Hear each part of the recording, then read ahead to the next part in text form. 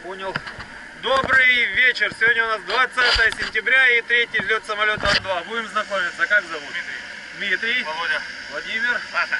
Саша. Артем. Артем. Тамара. Тамара.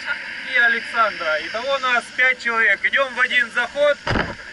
Первый, второй, третий, четвертый. Пятый, шестой. Вопросы есть? Конечно. Значит, направо.